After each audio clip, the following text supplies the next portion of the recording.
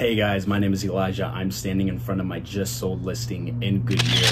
It is a three bed, two bath, 1500 square foot home. It was listed at $375,000. We accepted an offer at $379,000. We received five offers on this property. The first weekend it went live, it exploded with showings. If you have any questions on what your home value is worth or you're looking to move sometime in the near future and you have some questions, my contact information is going to be listed down below. I'm hoping to hear from you soon.